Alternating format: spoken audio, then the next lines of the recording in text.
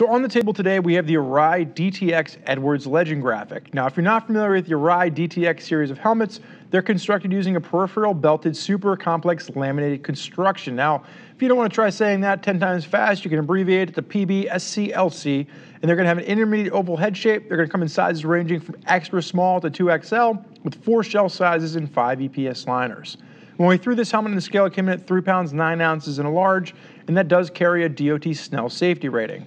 Now what you're going to see from the graphic is Colin Edwards MotoGP Yamaha graphic, and it's going to feature Yamaha's retro block graphic look to this. It's got that speed block running around the bottom, and there's two different colors. So if you go with the yellow version, it's going to be yellow and black with the red, white, and blue American flag on the top, and then the number five on both sides, bringing symmetry into play. Or you can go with the full-on red, white, and blue colorway, both of which are going to be done in a gloss finish with hints of metal flake coming throughout.